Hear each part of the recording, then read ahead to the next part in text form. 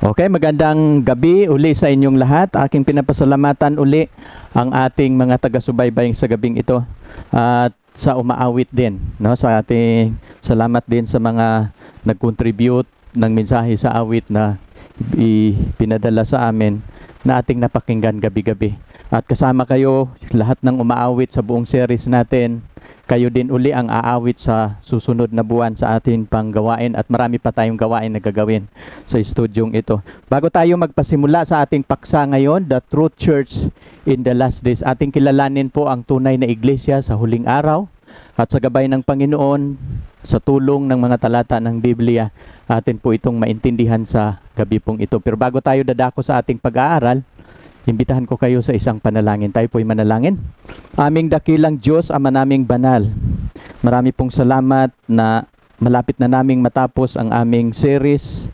At pagkatapos sa gabing ito, tatlo na lang ang natitira. Pero sa tatlong gabi na aming tatalakayin, marami pa kayong ituturo sa amin. Gabayan mo nawa ang aming mensahe. Lalo tigit sa lahat sa gabi-gabi na nagsubaybay nito. Pagpapalain ko lahat ng mga kapatid na sumusuporta nito o sa lalo tigit sa lahat sa umaawit, sa nanalangin at sa aming mga sponsor na nagsuporta sa kanilang pinansyal. At aming hiling at dalangin, Panginoon, na wag ninyo uh, kaming pababayaan na ang team ng The Gospel of Jesus Christ, bago kayo darating, makakontribute ito ng ano, suporta sa gawain bilang support namin sa iglesia no sa aming mga pastor. Pagpapalain ang gawaing ito. At nawa Panginoon pinapanalangin din namin ang paksa ngayon. Nawa ang inyong banal na espiritu ay mangangasiwa ipagkatiwala namin sa kanyang kapangyarihan at kanyang kamay ang lahat na gawain ninyo na aming gagawin sa gabing ito. At amin ding hinihiling pagpapalain din ninyo ang mga viewers namin na patuloy na nagsaliksik, naghahanap ng katotohanan, dadalhin ninyo sa aming channel. At naway mapapanood ang mga kailangan nilang mensahe. Salamat Panginoon sa pagdinig mo sa aming dalangin sa pangalan ng Panginoong Hesus. Amen. Okay, magandang gabi sa inyong lahat at uh, magandang talakayan ang ating tatalakayin sapagkat alam ko na sa bawat gabi na ating pag-aaral, naintindihan ninyo. At ito yung paksa na ating tatalakayin may kinalaman sa ano true church in the last days. Paano ba natin kilalanin? Ating napag-aralan ang tatlong ano, prophetic timeline sa prophecy. Tinatawag ito one-time prophecy. Ating napag-aralan na pagkatapos na naalipin ang mga Israelita sa Babylonia, binigyan sila ng Panginoon ng mercy period dahil sa kanilang apostasya. 70 weeks determine upon Israel. Kung sila'y magiging tapat ibibigay sa kanila, magiging mananatili sila na chosen people. Pero kapag patuloy ang kanilang pag-apostasya, oh, pagtalikod sa kautusan, palatuntunan at bilin ng Panginoon, kukunin sa kanila ang kaharian at ibibigay sa ano? Ibibigay ng Panginoon sa mga bansa na naglilingkod at nagtayo ang Panginoon ng panibagong iglesia sa New Testament. Ang New Testament church na hindi na nagtayo ng templo, kundi ang Panginoon nananahan sa templo sa ano sa kanyang iglesia o sa bawat individual ginawa na niyang tahanan. At ito na tayo na tayo ngayon ang spiritual Israel. Ngunit nang nangangaral ang kanyang iglesia ay ano din hinahadlangan ng kaaway. At dumating ang panahon ng maliit na sungay naghahari, no? Ang 1260 days ating napag-aralan kagabi, no? Nagpasimula ang kanyang kapangyarihan sa iglesia ng Tiatira, 538 natatapos sa 1798, ito yung figure ng kanyang pamamahala. Ang tinatawag na people supremacy, no? Pang pamamahala ng kapapahan at yung pamamahala ng kapapahan, tinatawag yun na dark ages. No, ito yung mga talata Daniel 7:25 at Daniel 8:11 to 13 tinatawag ito na sanctuary truth cast down. Yung ating pinag-aralan yung sanctuary isa-isa. At uh, nang natapos ang ating pag-aaral, no, nire-restore ng Panginoon. Sa ngayon sa Daniel 8:13 at saka 14 hanggang kailan gagawin at magtatagumpay ang pagsalangsang sa ginawa ng maliit na sungay at ang isang banal nagsasalita unto 2,300 days then the sanctuary shall be cleansed. No. At ang 2,300 days ating pinag-aralan kagabi na ito po ay may kinalaman sa paghatol ng Panginoon sa santuario, no? At magpasimula na siya sa ikalawang piece of ang ano niya, ang paglilingkod ni Jesus Christ bilang pare na mataas na pare sa kalangitan na naglilingkod sa santuario kasi nung umakyat siya sa langit naglilingkod siya sa banal na dako at sa 1844 kailangan na niyang lilipat sa kabanal-banalang dako. At ang kanyang gawain po doon mula 1844 nung natapos mula sa 457 BC natapos sa 1844 AD magpasimula na si Jesus Christ sa kanyang paghatol No? At pagkatapos sa gawain ni Jesus Christ dito na mag, maghatol, no, hindi po tayo nag-aaral ng haka kasi mayroon pong ano, prophecy mula sa Daniel. Kaya nga magpasimula na si Jesus Christ sa kanyang paglilinis sa santuario at itong paglilinis sa santuario may kinalaman po ito sa paghuhukom. Uh, at, at ating natutunan kagabi, ito yung tanong natin kagabi, what is the cleansing of the sanctuary? Ang cleansing of the sanctuary ito po yung taunang paglilinis sa santuario. Bakit kailangang linisin ang santuario? Kasi araw-araw nag ang, ang kasalanan ng mga Israelita sa kampamento kapag magkakasala sila, ililipat nila ang kanilang kasalanan sa ano, sa tupa. At ang tupa papatayin dito sa labas sa court at ang dugo isasahod ito sa isang pare at yung dugo iwiwisik doon sa tabing. Mula sa kampamento, dadalhin sa santuario ang kasalanan at pagkatapos tatanggapin ng pare at dadalhin niya sa tabing iwiwisik. So sa loob ng isang taon, narurumihan ang santuario sa ilang. At mayroong paglilingkod na gagawin na taunang paglilingkod, lilinisin ang santuario. At ang paglilinis ng santuario, nagrepresent po ito sa judgment hour. Solemne ang ano, yung tinatawag ng mga Israelit na pista ng Israelita na tinatawag na Yom Kippur. Ikaputong buwan, ikasampung araw, yung celebration nila sa Yom Kippur, at yun po yung paglilinis ng santuario. Sa paglilinis ng santuario, dalawa pong tupa ang pipiliin dyan, o dalawang kambing. No?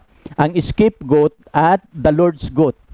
No? Ikaslats ang dalawang kambing, sino ang kambing sa Panginoon, siya yung papatayin na ano, dadalhin ang dugo niya iwiwisik doon sa mercy seat at sa sa kabanal-banalang dako. Pero mapapansin ninyo yung yung pagkatapos noon, paglabas ng pari, papatayin niya ang ikalawang kambing, ipapatong niya lahat ng kasalanan, no?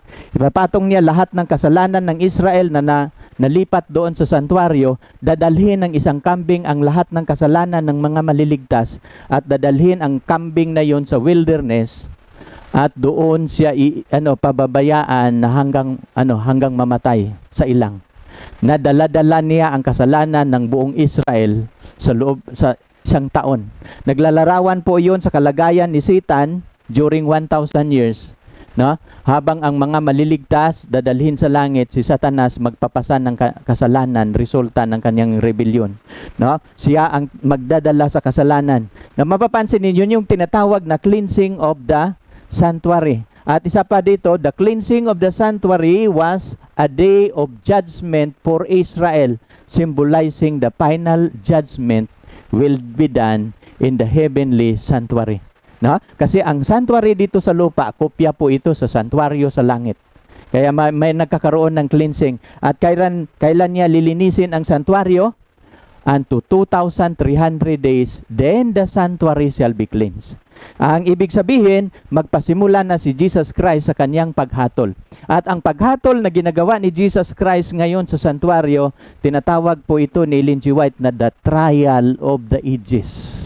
Kasi hahatulan ni Jesus Christ ang lahat ng mga tao mula sa lup, mula kay Adan hanggang sa huling kapanahunan, no? Mag-umpisa siya sa kanyang paghatol sa mga patay at kapag ano na matapos na si Jesus sa paghatol sa mga patay, buhay na naman. Kaya nga, ang mga buhay kapag hatulan ni Jesus, na sila'y maliligtas, tatatakan. Kaya nga sa huling araw, sa Apokalipsis 7, tatatakan niya, mayroong natatatakan ang unang harvest, ang 144,000, at ang ikalawang harvest, ang great multitude. Pag, pag pagtatak po yun, paghatol po yun ni Jesus Christ sa mga buhay. Kaya nga, pero hindi darating yan hanggat hindi darating ang sandilo. Kasi ang huling labanan ay patungkol sa araw ng Sabat at araw ng Sunday. Mamimili na lang tayo sa huling araw. No? Magiging distinction mark po yun o worship sino yung sasamba sa hayop at sasamba sa sa Diyos. Si kaninong marka ang ating tinatanggap, marka ng hayop o marka ng Diyos. Bukas ating pag-aralan bukas ang Trinity, counter Trinity ni Satanas. No? Ah, paano niya gagami paano niya gagamitin ang kanyang Trinity na sinasamba masa, magi, sasambahin si Satanas ng mga tao sa buong lupa. Nababalik tayo sa ating topic. Ang paghuhukom ba ito natiyak na darating, Brother John? No? Ang paghukom ba ni Jesus Christ sa santuario sa langit na tinitiyak ba ito na darating? Gawa 17.31, ito yung sabi ni Apostol Pablo, He has appointed a day on which He will judge the world. Mayroong isang araw ang Panginoon itinakda at sa panahon ni Apostol Pablo, binanggit niya in the future pa. No? Sa ating kapanahunan ngayon, ang 2,300 days, nalalaman natin na hanggang 1844 po yon. Kaya nga, ang 1844, nasa prophecy po yon. Kung paano natin binibilang, no? mula nang sila'y naalipin sa, sa Babylonia at natapos ang pagkanilang pagkaalipin sa Babylonia, natalo sa Medo-Persia at ang Medo-Persia nagpalabas ng utos mayroong 70 weeks determined upon thy people na ang ang 70 weeks nahati sa tatlo, di ba? 7 weeks, no? Itatayo nila ang templo at ang mga kuta. Tapos mula nang matayo ang templo, 62 weeks unto the Messiah, the Prince, bautismuhan si Jesus Christ. At pagkatapos niyang mabautismuhan, magpasimula siya sa kanyang ministry sa, sa kalahati ng linggo, ititigil niya ang hain at alay kapag mapako si Jesus Christ ay ititigil na niya ang ceremonial law. No? Ngunit nang umakyat siya sa langit, mayroon pang 3 years and half na natitira na provisionary sa Israel. Ngunit sa panahon ni Esteban, nung nagsasalita si Esteban sa harap ng Sanhedrin, itinakwil pa rin ng Israelita ang kanilang Misaya, tinakwil pa rin nila si Jesus Christ bilang kanilang tagapagligtas at hindi pa rin nila hindi pa rin sila nagsisisi sa kanilang kasalanan, nagpatuloy pa rin sila sa kanilang apostase at nang nagkagayon close of provision na sa Israel. Nung nagiging close of provision na sa Israel, mayroon na lang ano uh, natitira na mga ilang mga taon at sa kalagitnaan dito ang kapangyarihan ng maliit na sungay at pagkatapos hanggang sa 1844. Mula 500, uh, 457 hanggang 84, kumplito po yon na 2,300 years. No? Kaya pagkatapos noon, ano na, ay maghahatol na si Jesus Christ. Now ngayon ating pag-aralan, paano natin i-distinguish, Brother John, ang huling iglesia sa huling panahon, paano natin kilalanin? Madali lang po yan. Ating napag-aralan kahapon ng, nung umakyat si Jesus Christ, iniwan niya ang maliit niyang pulutong na iglesia by 12. 12 na apostles, tapos nangangaral. At sabi ni Jesus Christ, huwag muna kayong aalis dito hanggang matanggap ninyo ang kapangyarihan. Pagkatapos ni Jesus Christ napako sa cross, nabuhay na maguli, hindi siya kaagad umakyat sa langit. Nananatili siya sa kanyang mga alagad ng 40 days. Bago siya nagpasimula sa kanyang ministry, nag-prayer and fasting siya for 40 days. Nung nabuhay siya maguli, ay hindi niya iniwanan ang kanyang mga alagad. Nananatili siya sa kanyang mga alagad for 40 days. Kasi after 50 days, kasi pagkatapos niya mamatay, kasi yung namatay kasi siya, ang kapistahan noon Passover. At kapag ang kasunod na kapistahan sa Passover, after 50 days, ay ano yon pista ng Pentecost. No, mapapansin ninyo, 40 days siyang nananatili and after 50 days nung nabuhay siya maguli kasi tatlong pista po yon na nangyayari nung ano nung namatay si Jesus Christ dalawang pista po doon na magkakasunod pista ng Passover at pista ng unleavened bread dalawang pista po yon no, na sineselebrate nila. At pagkatapos sa pista ng lebe, un, unleavened bread, nagsimbolo po 'yun sa kanyang pagkabuhay na maguli, yung unleavened bread, no, yung kanyang kamatayan, yung pista sa na tinatawag na Passover, no? At ang ikalawang pista, pista ng unleavened bread. Yung pista ng Passover, pag pag-aralan ninyo ang ang Exodo 12, isi-celebrate yan unang buwan sa buwan ng Nisan. No? Sa buwan ng Nisan, ikasampung araw, kukuha sila ng tupa. Pagkatapos, patitirahin nila yon sa bahay 4 days. Pagkatapos noon, ay papatayin siya bago lumubog ang araw. Bakit 4 days? Kasi ang panahon na itinakda ng Panginoon mula nang pumasok ang kasalanan, kumplito 4,000 years, mamamatay si Jesus Christ doon sa cross. Pagkatapos niyang mamatay, mabuhay siya maguli. Si, kaya nga, pagkatapos noon, sa 4 days, isi-celebrate nila ang pista ng pas, o, ano, yung unleavened bread. Pagkatapos doon sa unleavened bread, nung nabuhay siya maguli, ay isi-celebrate naman nila ang Pentecost. Kaya nga, noon, hindi iniwanan ni Jesus Christ ang kanyang mga alagad 40 days. At uh, nang umakyat si Jesus Christ, after 10 days, natanggap nila ang Holy Spirit. No? Kaya nga, anong bu ano ang ministeryo ni Jesus Christ uh, na ano niya, nakatakda na po yung mga panahon anong dapat niyang gagawin. At sabi ni Jesus Christ sa mga alagad, wag ninyong wag kayong aalis dito sa Jerusalem hanggang matanggap ninyo ang kapangyarihan. At sa pista ng Pentecostes, natanggap nila ang pangako na Holy Spirit.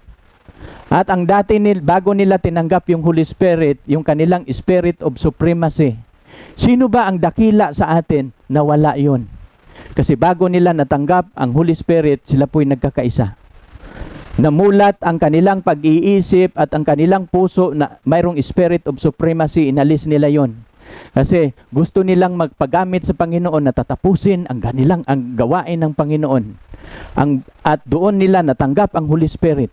At nung natanggap nila ang Holy Spirit, makapangyarihan ang kanilang mga pangangaral na sa loob ng isang araw, tatlong libo kaagad na bautismuhan. Ang unang araw na natanggap nila ang ano. At kasunod na mga araw, limang libo na naman ang kanilang nabautismuhan. Sa Acts 2, 3,000. Sa Acts 5, 5,000. At mayroon sa 5, uh, sa 6, may mga multitude na ang na-convert. Kaya mapapansin ninyo, nang, sa first century pa lang, ang conversion nila, bago matapos ang church ng Episo, sa mga nag-aaral, umaabot ng 7 million ang nagiging Kristiyano. Kaya nga sa, ikad, sa, sa church ng Episo, umaabot na sila dito mula 31 AD, no, ating napag-aralan ang church ng Episo, ito yung iglesia kung saan ang mga alagad nangangaral. At tinatawag po ito ng iglesia na desirable. No? Kasi kaibig-ibig ito na iglesia dahil ito po yung modelo ng iglesia. Kung ating titingnan ang kabayo, na sil, mga tatak, nasa puting kabayo po siya. Kung gusto ninyong kung gusto nating maintindihan ang huling iglesia, kailangan ating pag-aralan ang pitong iglesia sa Apokalipsis. At itong pitong iglesia sa Apokalipsis, ito po'y kasaysayan ng isang iglesia na nanahahati sa pitong yugto ng kasaysayan. Kaya nga, ano bang, paano ba natin kilalanin ang church in the last days? Pag-aralan natin ang pitong iglesia. Kasi ang pitong iglesia, ito po, dito po natin makikita anong iglesia ang huling iglesia na iglesia ng Panginoon. No? Kaya nga ating pag-aralan ang pitong yugto sa kasaysayan sa iisang iglesia ng Panginoon. Ang unang iglesia ay iglesia ng Episo. Ano pong kahulugan sa Episo? Desirable. No? Ano po yung taon, yung church age ng Episo mula 31 AD, natatapos siya sa 100 AD. At sa kasaysayan, sa kanilang conversion, sa kanilang pangangaral, nung ginagamit ng Panginoon, from this period, 31 to 100, umaabot ng 7 million ang kanilang conversion. 6 to 7 million. Na pagkatapos sa Episo, ang ikalawang iglesia, doon tayo sa ikalawang yugto ng iglesia, ay ang Smyrna. Ano po ang kahulugan sa pangalang Smyrna? Sweet smelling savor. No? Ang Smyrna galing po ito sa tanim na 5 to 6 feet ang taas. At kapag ano, kuskusin mo ang dahon ng ismer na tanim, lalo siyang bumabango. Kapag dikdikin, lalo siyang bumabango. Bakit ito ang nilalarawan sa ikalawang iglesia? Dahil nung dumami ang Kristiyano, sa Roman Empire, umaabot na ito ng 7 million na alarma sila. Sabi ng Roman Empire, pag hindi natin matitigilan ang kanilang pagdami, banta po ito sa ano, imperyo ng Roma. Kung sila'y magkakaisa lahat, makipaggera sa atin, darating ang panahon, matatalo tayo dahil padami sila ng padami. No, anong ginawa ng Roman Empire? Gusto nilang i-wipe out ang Christianity. Pero isang Kristiyano na papatayin nila, ay anong mangyayari? Sampo ang babangon. Kaya nga, mas lalo nilang pinagsikapan ng buong kapangyarihan na ma-wipe out. Pero the more na sila magsisikap na kanilang patayin ang maraming mga Kristiyano, the more itong dumadami.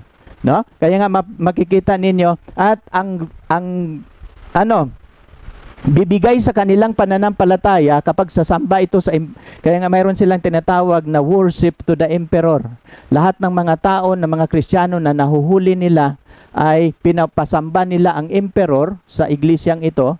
Pero mapapansin ninyo, pag sasambahin mo ang emperor, bibigyan kanila ng certificate. Pero yung mga Kristiyano na naglilingkod sa Panginoon, mas gusto nilang mamatay kaysa samba sa emperor. Alam nila ang katotohanan.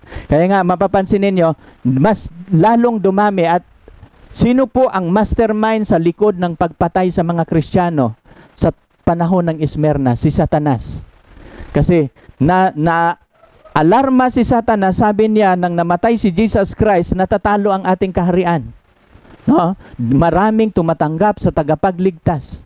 Anong mangyayari sa ating kaharian? Nung pinatay niya ang maraming Kristiyano, sa panahong ito, ang Smyrna na iglesia, ito yung church age, 100 AD to 313.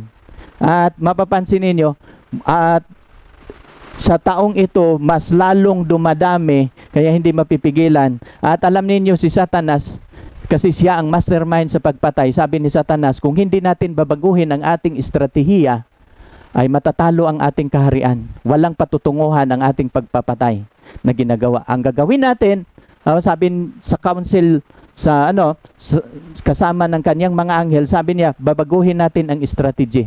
Itong Roman Empire na hindi nagkakasundo ay ano natin gagamitin natin ang isa, no? Ginagamit ni Satanas ang isang ang Eastern Empire, linulusob nila ang Western Empire, no? Sa pangunguna ni Constantino at nung nananalo si Constantino, nagpa-convert si Constantino unto Christianity at ang ikatatlong iglesia ay tinatawag na Pergamos.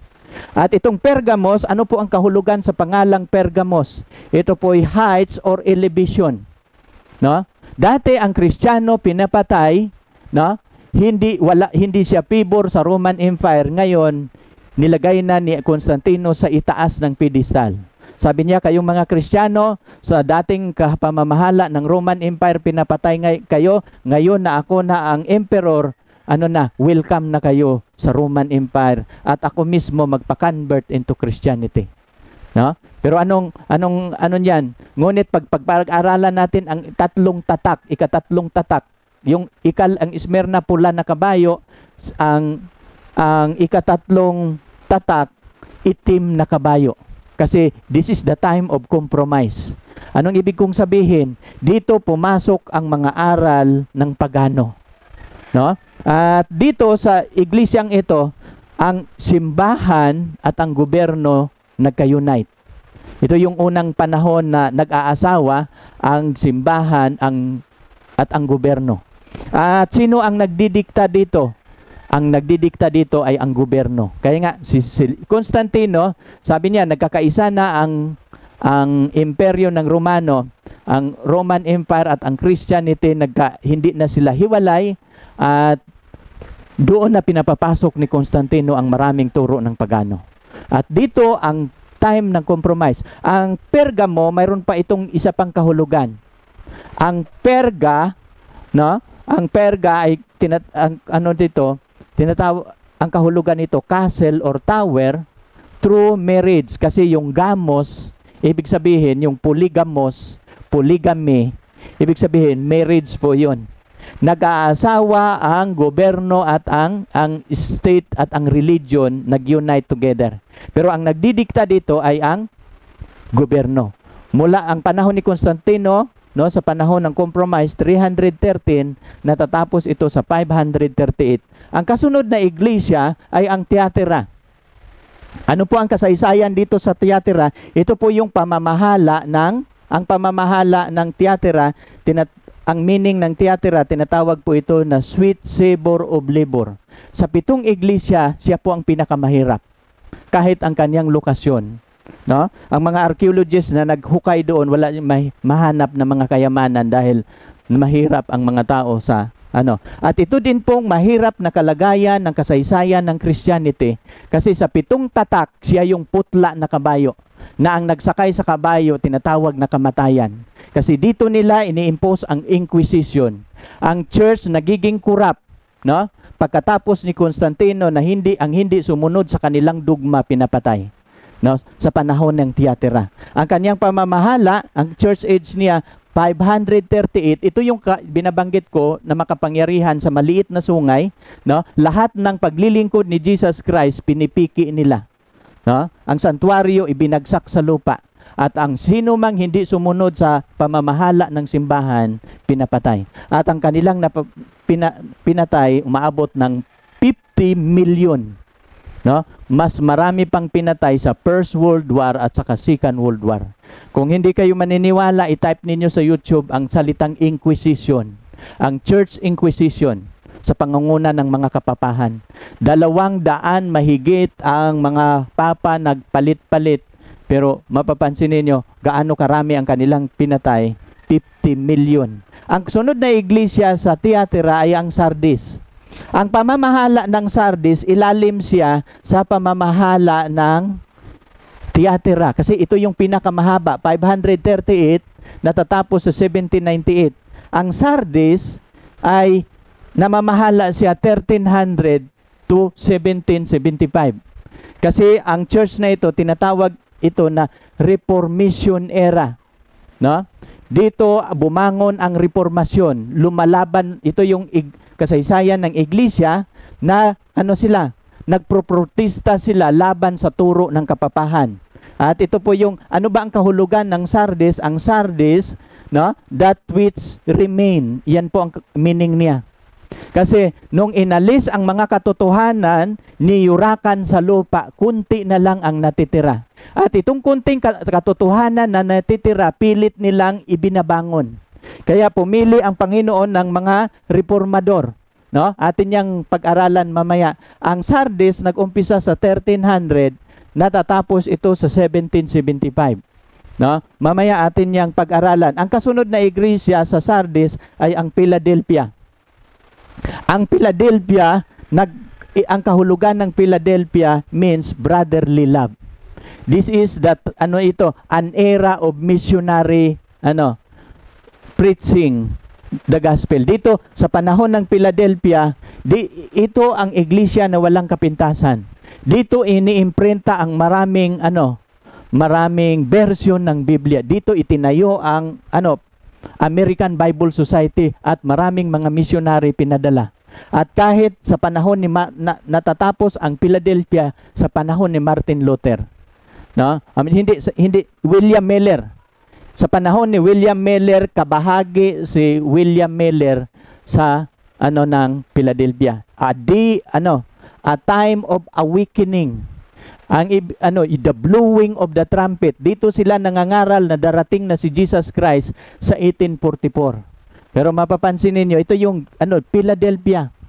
Naghihintay sila sa pagdating ng Panginoon ngunit hindi dumating ang Panginoon no mula sa panahon ni Wesley hanggang sa panahon ni, Ma- ni William Miller ito po ang kasaysayan ng Philadelphia at pagkatapos sa Philadelphia, ang Philadelphia nagpasimula sa 1755 AD, natatapos ito sa 1844.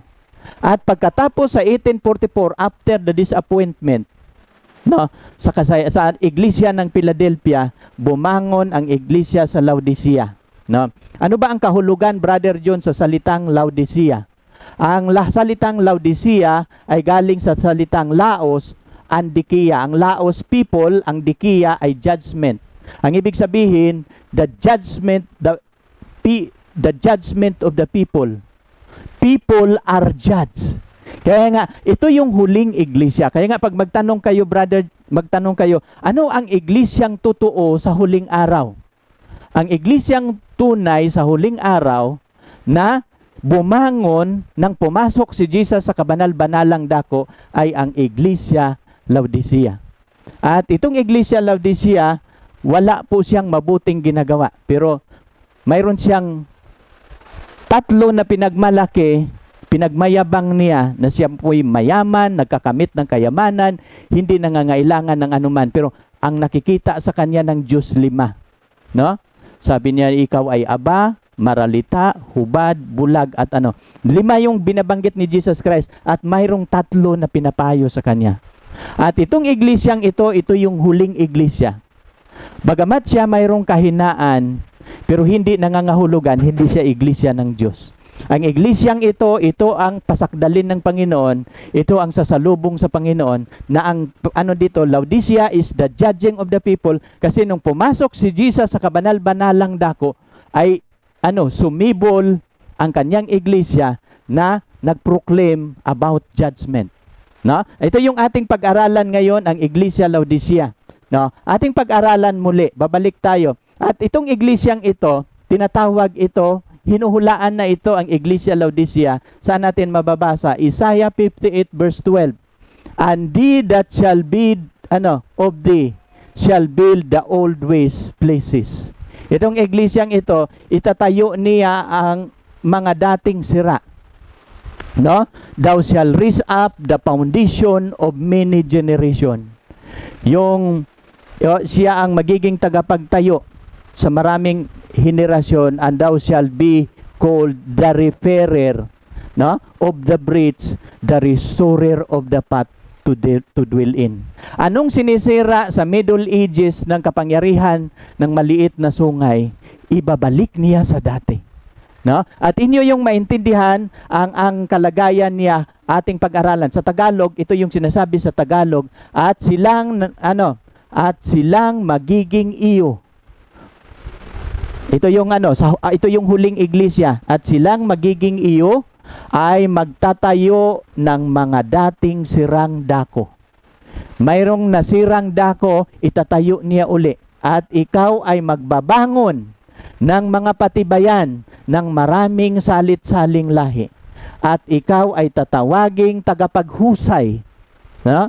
at nang sira ang tagapagsauli ng mga landas ng matatahanan. Hinuhulaan na ni ano, kasi mula nang bumangon ang iglesia, sinis, kinukurap ito ni Satanas. At maraming mga katotohanan nawawala. Pero sa panahon ng Reformation, iniisa-isang binabalik pero hindi nakukumpleto. Pero sa panahon ng Laodicea, na ikumpleto na balik ng Panginoon lahat bago magpasimula ang cleansing of the sanctuary. Ating pag-aralan yan isa-isa para maunawaan. Una niyang nire-restore na sinisira ng kaaway ay patungkol sa sabat. Mapapansin ninyo, Isaiah 58.12 itong ating binabasa. Ano ang, ano, sapagkat siya yung tagapaghusay sa sira at tagapagsauli sa mga landas ng matatahanan. Ano ang una niyang nire-restore na maling turo na inalis ng kapapahan. Ang Sabado, pinalitan nila ng linggo. Ang iglesyang ito ng Laodicea ay Sabbath keeper po ito. Pag titingnan ninyo, ano bang sinasauli ng iglesyang ito? Kasi restorer siya.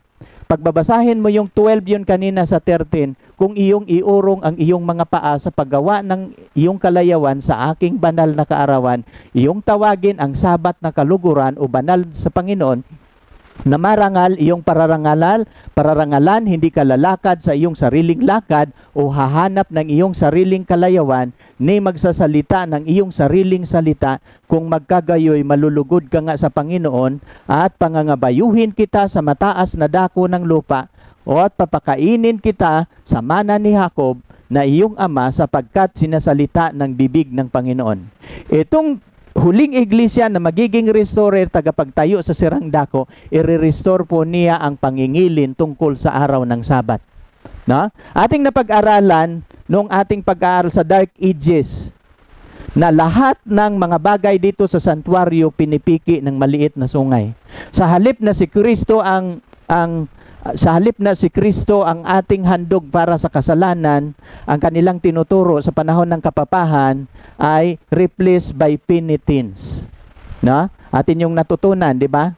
Sa halip na ang ang infant baptism uh, sa halip na bautismuhan malalaking tao at immersion, pinalitan nila ng sprinkling. Ito yung ano, lahat ito pinapalitan.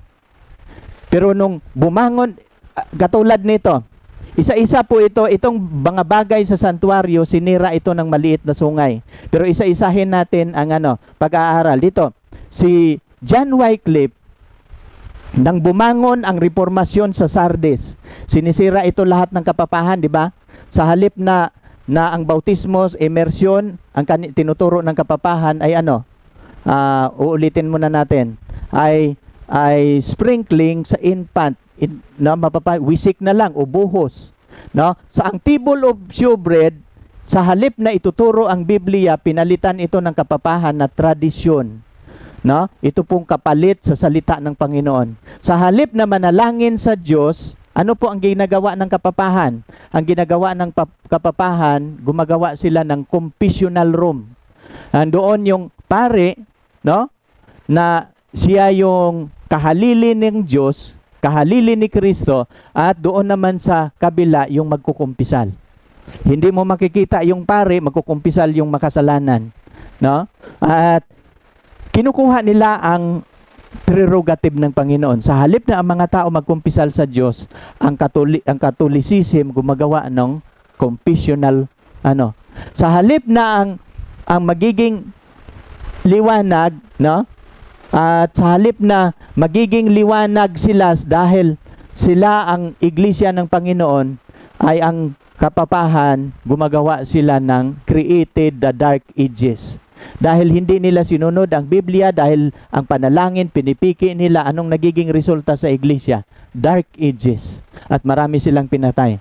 Pero mayroon ang kasunod na reformasyon ay binangon ng ang, ang kasunod na sinisira ng kapapahan ang seventh day Sabbath. Sa halip na Sabado ang araw ng pagsamba, pinalitan nila ng araw ng linggo. Ano, ito yung ang kautusan sinira nila. No? Kaya nga nang Piniki nila ito, walang liwanag na ang iglesia at ang kautusan anong ginawa nila? Ay sinira nila ang, ang kautusan ng Sabat, pinalitan ng ibang araw. No? Pero paano isinauli ng Panginoon bago ang 1844? Si Wycliffe pinili ng Panginoon na i-restore niya ang salita ng Diyos. Na, nang bumangon ang reformasyon sa Sardes, isa-isa itong binalik ng Panginoon. Kailan niya ibinabalik? 1300. Binalik niya ang, pag, ang Biblia. Pagkasunod na pinipili ng Panginoon si Martin Luther, atin na yung naitutunan, ano ang ginagawa ni Martin Luther? Gumawa po siya ng 95 thesis, pina, ano niya, pinako niya sa isang katedral at pagkatapos siya nagsasabi, itong 95 thesis sa aking pag-aaral, ito po yung patunay na ang turo ng kapapahan ay wala sa Biblia. Tinuturo ni Martin Luther ang, ang kanyang ibinabalik sa 1500 ay Christ paid for our sin. Si Kristo ang nagbabayad sa ating kasalanan uh, through grace, through, through faith, no? Katatanggapin ang ano, hindi na hindi na pinitensya. Hindi po ang turo ng Panginoon magpinitensya tayo. Salvation by grace. No, sabi niya dito, ibinalik niya ang sakripisyo ng Panginoon na grasya. Tatanggapin natin na walang bayad, hindi kailangan ang sakripisyo. So, itong mga dalawang reformador na ito, no, sila po binabalik. Ang kasunod na reformador na bumangon si John Calvin, ano naman ang it, i, tinuturo ni John Calvin? Ito yung Presbyterian Church. No? Mapapansin niyo si Martin Luther ito yung Lutheran Church. Ang si, si John Calvin, ano naman ang kanyang tinuturo? na ang pray directly to God hindi na kailangan yung confessional room. No? Kaya yun yung tinuturo niya. Ang kasunod naman na bumangon na reforma sa 1600, no? ang bumangon naman si John Smith. Tinut- ito yung founder sa ano, Seventh-day Baptist at ang ano naman niya, binangon naman niya na ang doktrina sa baptism na kailangan immersion sa malalim na tubig, hindi wisik o buhos. No, ito yung mga katotohanan. At ang kasunod na binabangon ng Panginoon sa 1700 ay ang mga Wesleyan no bumangon ang reformador na si John Wesley sa 1700 ito yung Methodist Church ang tinuro naman niya na ang ano, ang gospel evangelism. Kailangan masipag sa kabanalan, no? Kailangan mang ipapangaral ang pabalita kasi kung hindi ipangaral, hindi darating ang Panginoon. At ang pin, sa 1800, no? Anong bumangon na reformador sa 1800? Sa 1800, ang huling bumangon ay ang Seventh-day Adventist. Ano naman ang binabangon ng Seventh-day Adventist? Ang nawala, no? Na article sa, sa santuario ng Panginoon ang sabat na sinisira ng kapapahan. Ibinalik ng Seventh-day Adventist ang kautusan ng Diyos. At sa ating kapanahunan ngayon, alam ninyo kung sino lang ang religion na ano persistent sa sa protest sa ano protesta laban sa kapapahan. Isa na lang ngayon ang protestant, ang Seventh-day Adventist. At ito po yung huling iglesia. No? At lahat ng turo ng reformador nang bumangon ang ano, mga iglesyang ito. Ito ito yung Lutheran nag-exist ito ngayon. Pero hindi ko sinasabi lahat ng turo ng Lutheran mali. Ginamit sila ng Panginoon sa Dark Ages kaya lang hindi sila absolute truth. Ang tawag sa kanila ay half truth no? Hindi sila absolute kasi hindi sila nangingilin ng Sabat. Pero ang Seventh-day Adventist, ito lang yung iglesia ngayon na nag-exist na pinapatuloy nila ang protesta sa kapapahan. Napapansin ninyo ang aming pangangaral? Ano ang tinuturo namin? Tinuturo namin na ang kapapahan, antikristo. At kapag darating, kasi ang lab, ang ginagamit ni Satanas na ano ngayon, mula pa noon, Ginagamit, ginagamit niyang kasangkapan nung ipinanganak si Jesus Christ ay ang pagan Rome. At hanggang ang nang nagiging Christian Rome, ang ang Roman Empire, ang pagan Rome nagiging Christian Rome, si Satanas hindi pa rin umalis doon. No? Kaya mapapansin niyo ang aming pagprotesta Anong protestantismo, anong protestant ngayon na nagpapatuloy sa protesta against sa ano, kapapahan? Wala na. Itong mga protestang ito natitigil na. Nagpailalim na sila. Kaya nga, mayroon akong topic sa Sardis, panoorin ninyo sa YouTube, yung The Church of Sardis. No? Paano ba nangyayari na ang babae sa 7, chapter 17 ng Apokalipsis, ang anak niya patutot? Mayroong babae na patutot, ang anak din niya mga patutot. Kasi nung hindi nag-iingat, ang mga reformador na ito, nahulog sila uli sa kamay ng kapapahan. Ang protestantismo na nagpapatuloy ngayon, nag, nag, nagprotesta laban sa gawa ng kapapahan ay ang Seventh-day Adventist at ang turo namin ngayon, lahat ng turo na binabangon ng mga reformador ay at turo ngayon, doktrina ngayon ng Seventh-day Adventist at ito yung nag-iisang church sa ating kapanahonan ngayon na Christian religion na nagtuturo sa sampung utos at tinuturo ang araw ng Sabat. No? Na original na araw na pagsamba sa Panginoon. Throughout the Bible, mula Old Testament hanggang New Testament, Sabat po ang nakasulat sa Biblia. Wala po kayong mababasa na pinalitan ng Panginoon ng Sunday. At kung inyong babasahin yung Isaiah 66, no, 22 to 23 hanggang sa bagong langit at bagong lupa, ang ating pagsamba sa harapan ng Panginoon, araw pa rin ng Sabat. At ito yung patunay na ang huling iglesia, napapansin ninyo ang huling iglesia, ang Laodicea, ano ang pangilin niya? Sabat. No? Kaya nga, the church is in the, uh, hindi lang ito, ang, ang iglesyang ito nangingilin ng Sabat, at atin ding pag-aralan ngayon na ang iglesyang ito ay hindi po ito aksidente sapagkat ito po ang iglesia na nakasulat sa propesya. No? Ang pagbangon ng Seventh-day Adventist ay nasa aklat ng Daniel at nasa aklat ng Apokalipsis. Patunayan natin ngayong gabi ating pag-aralan. Kapag babasahin ninyo ang 2,300 days, ang prophecy niyan mula chapter 8 hanggang 12. At ito yung sabi ni, ni Gabriel kay Daniel. Sabi ni, nung hindi niya naintindihan ang pangitain sa tungkol sa 2,300 days, ito yung sabi ni ni Gabriel. At ang pangitain sa mga hapon at umaga na nasaysay ay tunay, sabi ni Gabriel. Ngunit ilihim mo ang pangitain, sabi niya, ilihim mo. Kasi bakit niya ilihim? Sapagkat ukol sa maraming araw na darating. Ang pangitain tungkol sa 2,300 days, yung the judgment day, no, na si Jesus Christ lilipat sa kabanal-banalang dako, hindi ito mangyayari sa panahon ni Daniel. Kasi yung 2,300 days, 6 years lang yon.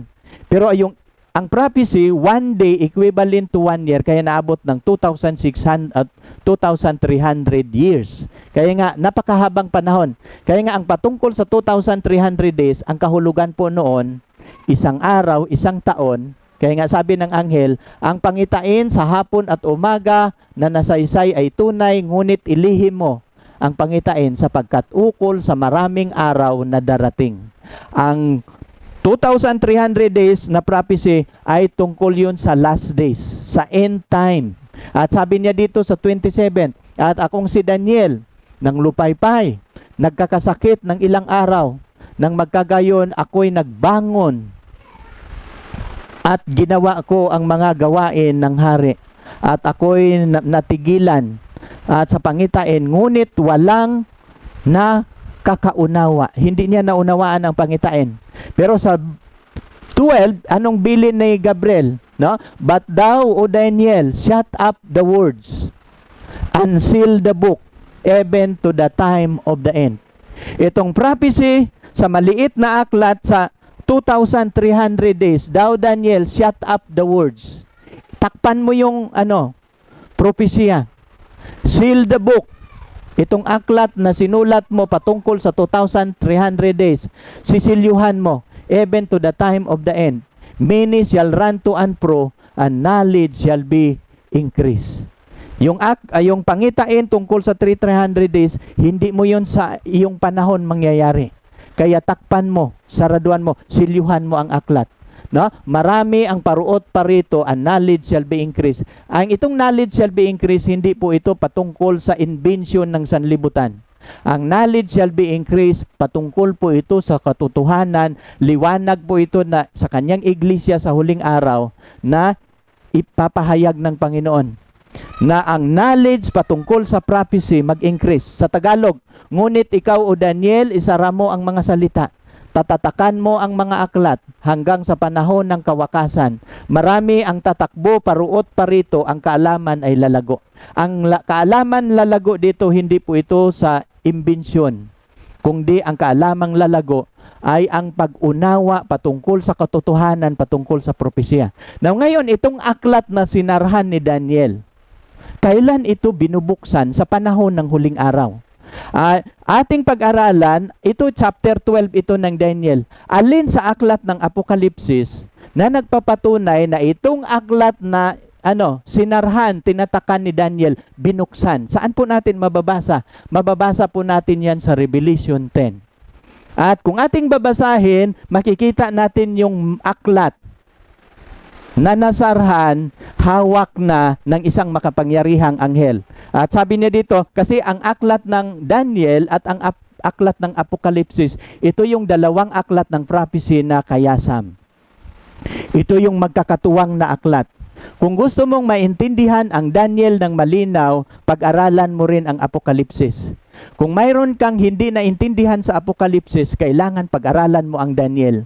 Kasi itong dalawang aklat na ito, ito po yung aklat ng mga hula. At kung pag-aralan natin ang aklat ng mga hula, malalaman natin ang huling iglesia na babangon na magpasimula sa 1844. At dito natin maintindihan na ito ang pinili ng Panginoon na iglesia na magproklama sa judgment message. Kasi kung si Jesus Christ papasok sa kabanal-banalang dako para maghatol, mayroon pong iglesia na kanyang pipiliin na babangon sa 1844 na ang kanilang ipoproclaim ang paghahatol na gagawin ni Jesus Christ. Gagawin po ang iglesia nito na magiging mensahero. Kaya nga ang iglesia ng Laodicea ano? The judging of the people, people are judged. At ang mensahe ng Iglesia Laodicea, ano ba ang kanyang mensahe? Mamaya ating pag-aralan. Pero atin dito muna tayo sa pag-aaral doon sa maliit na aklat ni Daniel na sinarhan. Hindi po ang buong aklat ni Daniel ang tinatakan. Kundi mula chapter 8 to 12 lang. Ang mensahe lang tungkol sa 2,300 days. Kasi to, ang 2,300 days, dyan babangon ang huling iglesia sa kanyang kapanahonan. Uh, the church will arise on time according to the prophecy. Na mapapansin ninyo dito sa 10, chapter 10. Ating pag-aralan dito ang buong chapter. At nakita ko ang ibang malakas na anghel na nanaog mula sa langit. Malakas ha? Mighty angel na nanaog mula sa langit. At nabibihisan ng isang alapaap.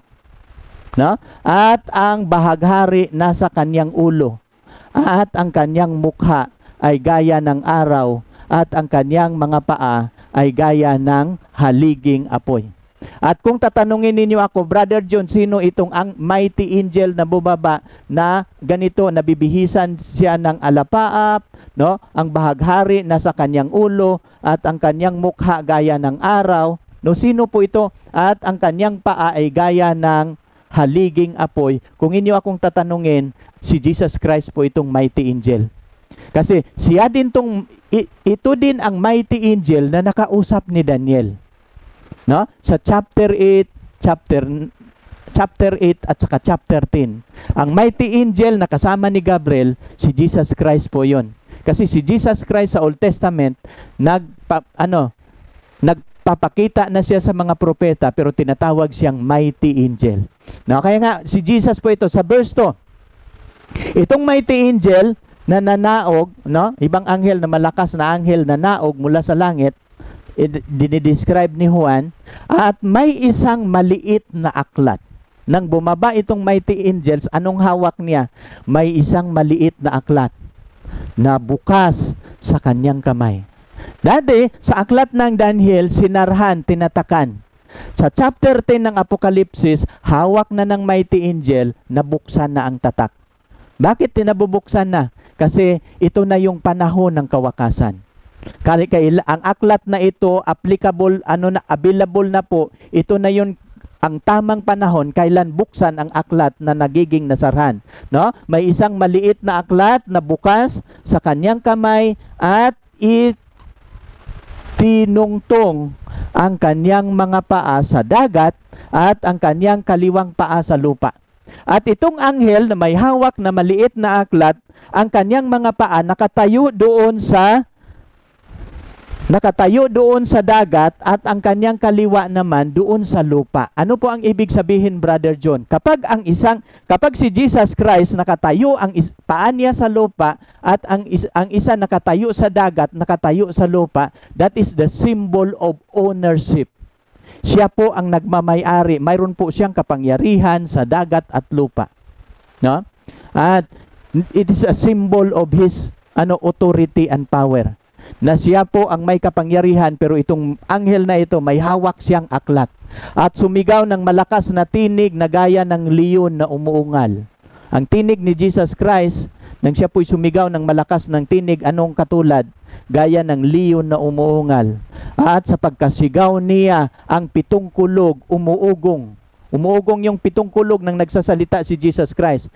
At pagkaugong ng pitong kulog ay isinusulat ko na sana at narinig ko ang isang tinig na mula sa langit na nagsasabi, Tatakan mo ang mga bagay na sinasalita ng pitong kulog at huwag mong isulat. No? Ang ibig sabihin, Brother John, nang, nang, nung sum, nagsilita si Jesus Christ na umuugong, no? at nag at nagkaugong na uh, pitong kulog, No? Napapansin ninyo, naintindihan ba ni Juan yung pitong kulog? Yes, naintindihan ni Juan.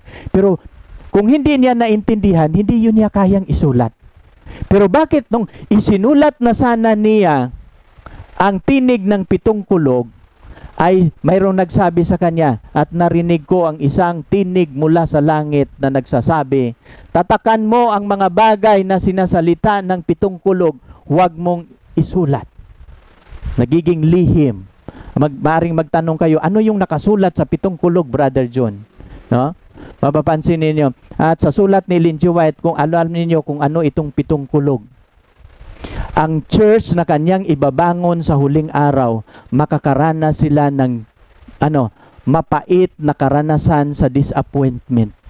Ngunit nung isusulat na ni Juan, sabi ng ano, wag mong isulat. Kasi kailangang maranasan ng iglesia na maranasan nila ang disappointment. Alam niyo, ang ang huling iglesia na ibabangon ng Panginoon, makakaranas sila ng disappointment na tawag. No? Bakit? Kasi ang kanilang paghihintay kasi ang Millerites movement pinag-aralan nila ang 2,300 days. Sino ba ang mangangaral na nag-aaral sa 2,300 days? Si William Miller sa panahon ng ano ng Philadelphia. Sa panahon ng Philadelphia nag-aaral si William Miller. Isang ano, Methodist Church. Sabi ni William Miller, no, sa aking pag-aaral sa 2,300 days, no, pinag-aralan niya ng masikap at sa kanyang pag-aaral magwawakas ang 2,300 days, October 22, 1844. Sa taong ito, darating si Jesus Christ upang linisin ang santuario. Ang kanyang understanding sa santuario itong lupa. Kaya pinapangaral niya no at lahat ng mga iglesia sa kapanahunan si William Miller inimbitahan, magsasalita ka sa aming iglesia. Lahat na nakarinig sa aral ay anong nangyayari?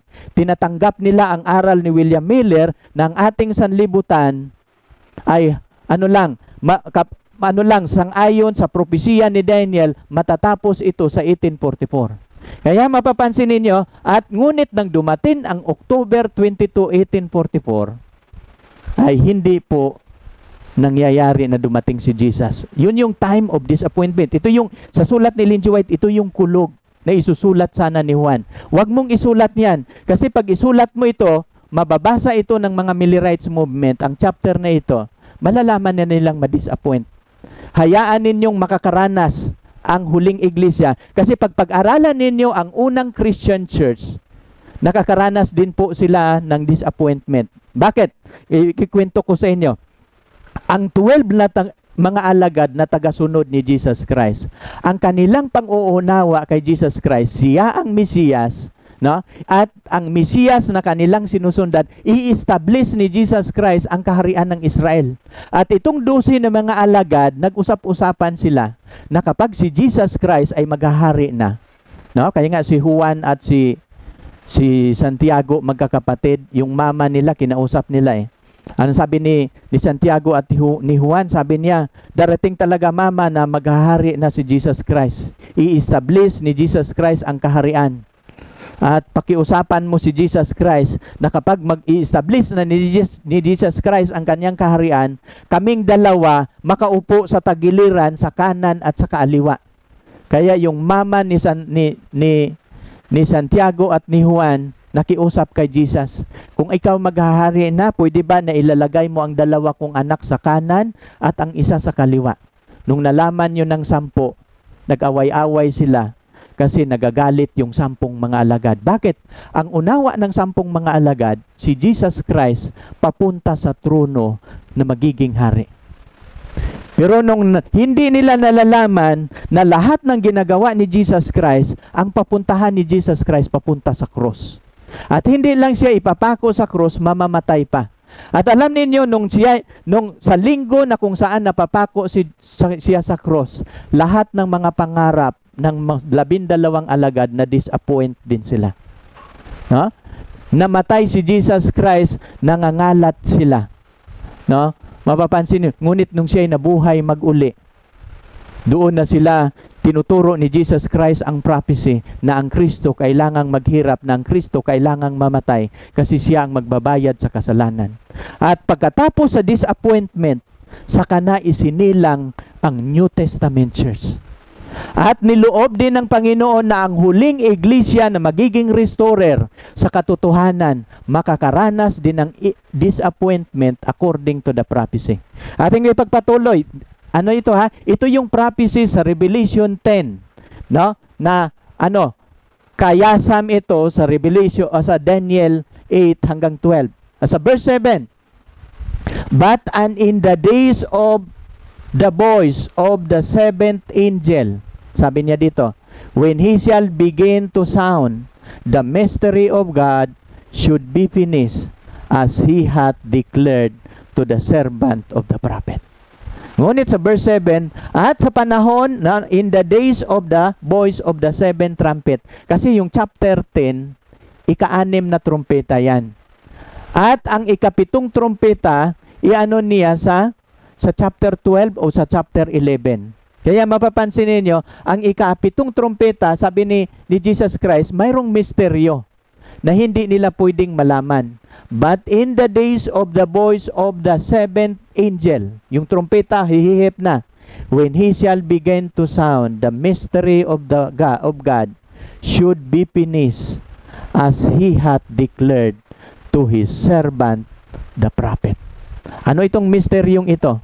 Sasabihin ni Jesus Christ kapag hihipan na yung ikapitong trumpeta, no, sasabihin ng God the Father, kailan darating si Jesus Christ, sabihin niya ang araw at oras. Now, dito tayo sa, ha, ano, kung mababasa ninyo ang writings ni G. White, no, mayroong huling sasabihin, mayroong i-reveal ang God the Father kailan, dar, anong araw at anong oras darating si Jesus Christ in the day of deliverance. No? After the Armageddon War.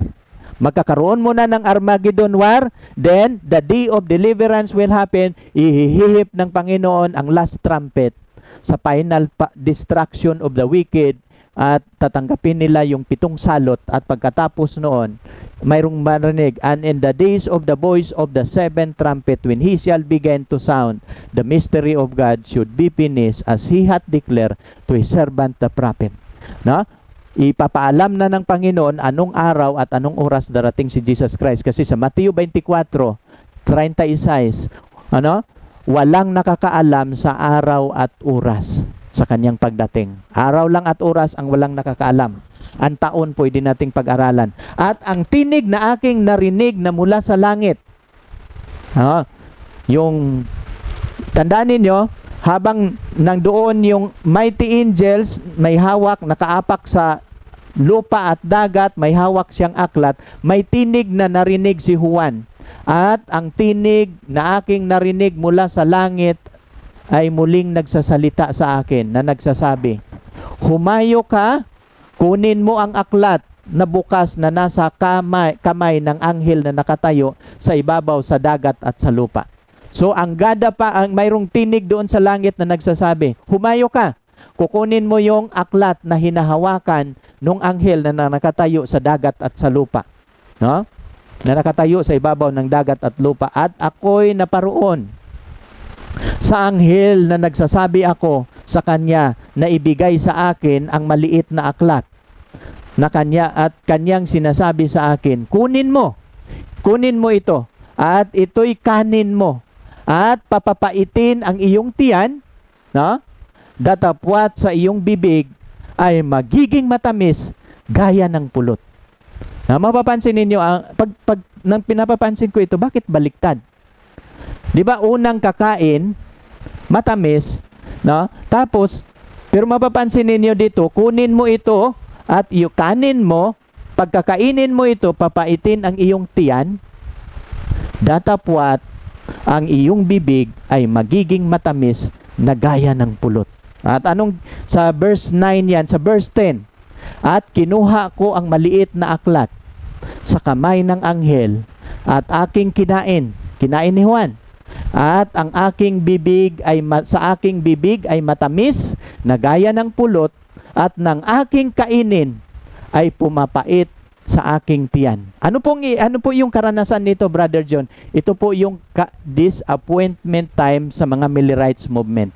Anong ibig sabihin? Nang pinag-aralan ni William Miller ang 2,300 days, positively ang kanilang paniniwala, darating si Jesus Christ. Dadalhin na sila sa langit. Pero ilan yung, uh, gaano karami ang naghihintay? Napakarami. No? At, at mga ano noon, sa panahon nila, ang kanilang mga maraming mga mananampalataya doon na ang kanilang mga mais, ang kanilang mga palay, hindi na nila hinaharbis. No? At ano na sila? Positively ang ang ano nila ang kanilang ang iba nagbibinta ng bahay, nagbibinta ng lupa, tinutulong na sa gawain dahil alam na nila na darating ang Panginoon. Kasi inaasam-asam na nila na sila isasalubong sa Panginoon. Pero nung hinihintay nila ang October 22, 1844, nung lumampas sa alas 12 ng gabi, marami na ang nagtaka. Darating kaya, nagdududa na ang marami. No? At um, nang nagiging umaga na, the great disappointment na naranasan ng kanyang iglesia. Pero hindi ibig sabihin na ang iglesyang ito na disappoint, nakasulat ito sa prophecy. na ito ang mangyayari sa huling iglesia na ibabangon ng Panginoon. Bago sila pipiliin na mag, ng Panginoon na mag, magdala ng mensahe sa judgment, maranasan mula nila ang disappointment time. No?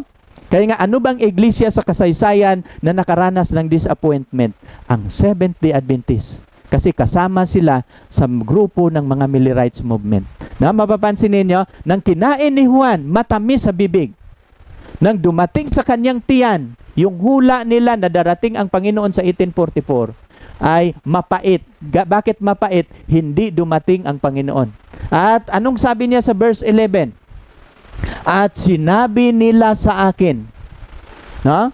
Datap, dapat kang manghula muli sa maraming mga bayan, mga bansa at mga wika at mga hari. Nung naranasan ng Adventism ang ano, disappointment, hindi dumating si Kristo sa 1844. Ang sinabi nila, ang God the Father at ang God the Son. Anong sabi niya nung naranasan niya ang mamamapait na karanasan sa iglesia? Dapat kang manghula muli. Saan? Sa maraming mga bayan, mga bansa at wika at mga hari. At alam ninyo, ang pagbangon sa Seventh-day Adventist, yung Adventism na teaching, movement, tinatawag po ito na the Advent Movement.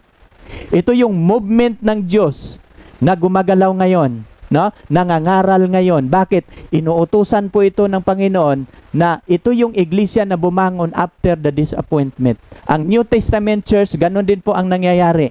Na disappoint din po ang 12 na alagad. Pero pagkatapos nila na disappoint, naintindihan nila ang mga ang plano ng Diyos. Ganon din po ang nangyayari sa amin. Kaya nga kung ano ang kalagayan ng Seventh-day Adventist, inuorden po ito ng Panginoon. Sinabi nila sa akin, dapat kang manghula muli.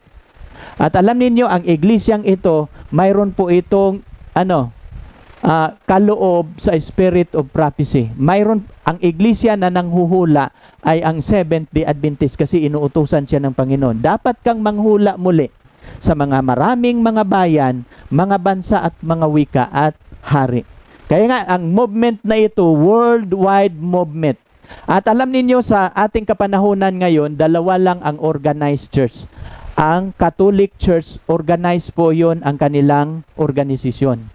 Kung ano ang teaching, uh, kung ano ang turo ng Vatican sa linggong ito, magigi ang ano ang ebanghelyo na babasahin sa Vatican, bayon ang ebanghelyo na bababasahin sa buong sanlibutan.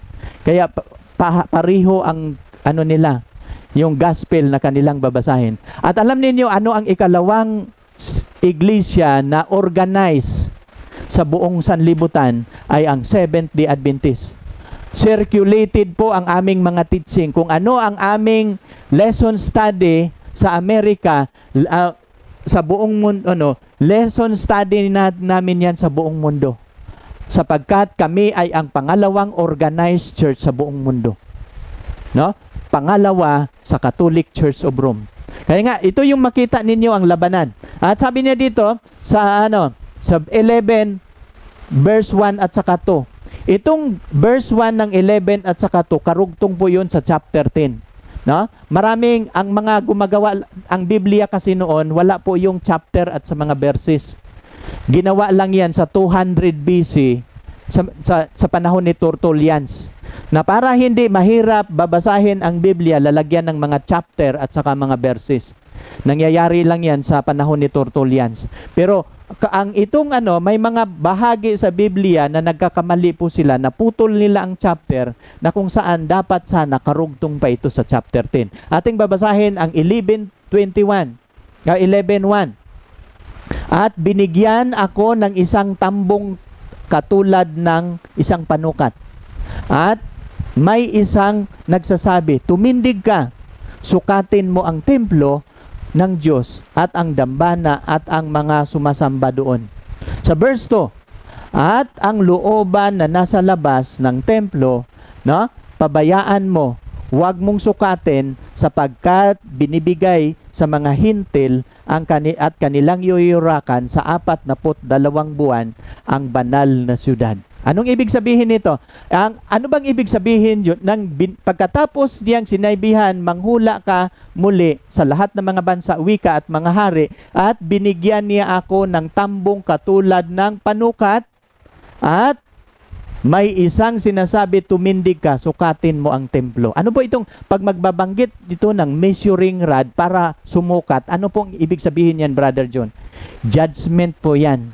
Pag magbabanggit ng sukatan para sukatin ang bayan, judgment po ito sa bayan ng Panginoon. No? Nang bumangon ang huling iglesia, that is the time of judgment. No? Timely na ang pagbangon ng huling iglesia nasa prophecy. Ang ang alam ninyo yung judgment sa investigative judgment na audience ang mga hang, anghel, tinatawag po ito na in favor of the saint of the Most High. Anong ibig sabihin? Yung ang hahatulan lang doon ng mga kaso, yung dugo na nawisik lang doon sa tabing. Yung mga kasalanan na hindi nakapasok sa templo ng Panginoon, hindi po 'yun ano, hindi po 'yun imbestigahan.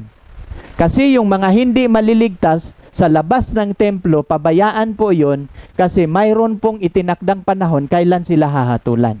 Ang, ha, ang makasama lang, kaya nga, ang unang judgment, tinatawag ito na in favor of the saint of the Most High. Kasi ang lahat na hahatulan ni Jesus Christ, yung lahat lang ng mga tao na tumanggap sa kanyang sakripisyo. Yung ang, kani, ang dugo ng tupa na wisik doon sa tabing. Kasi nagrepresent po yon ang paglinis sa cleansing of the sanctuary. Ang pagsukat sa templo, nagsimbolo po yun sa judgment.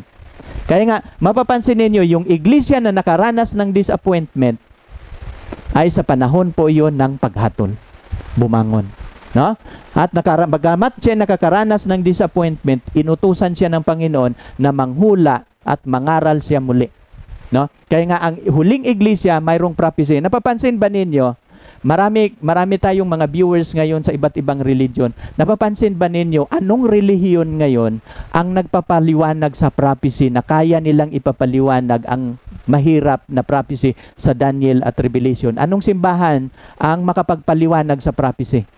Pag titingnan ninyo ang lahat ng simbahan ngayon sa buong mundo, nag-iisa lang ang iglesia na nagpaliwanag sa prophecy, ang Seventh-day Adventist lang kung bakit namin kayang ituturo ang Daniel and Revelation na chapter by chapter dahil sa espiritu ng panghuhula na binigay ng Panginoon sa kanyang propeta sa huling iglesia. No? Ang kanyang pagsibol ay on ano, right on time, no? After the great disappointment. At sabi ng Panginoon, manghula ka muli. Kasi yung hula niya, hindi pala yon ang 1844, yun yung kanyang pagdating. Kung di, yun yung kanyang paglipat sa kanyang paglilingkod sa santuario sa langit na mula sa banal na dako, lilipat na siya sa kabanal-banalang dako sa huling gawain niya sa langit sa paghatol. No? Kaya nga, yun yung ano, at habang siya naghahatol, kailangan ipapangaral ang mensahe patungkol sa paghatol. No, nakukuha ninyo ang ibig sabihin, thou must prophesy again before many people and nation, tongue, and kings. Kaya ito yung gawain ng iglesia. No? Ano ang pagkakilanlan ng iglesia, Brother John? Ating ano? Kung ating titingnan ang iglesia, paano ba natin ito kilalanin?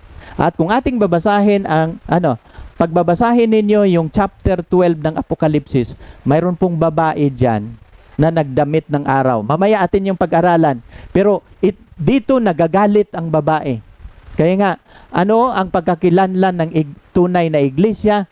At ang dragon, and the dragon was wrought with a woman and went to make war with the remnant of her seed, which keep the commandments of God and have the testimony of Jesus Christ.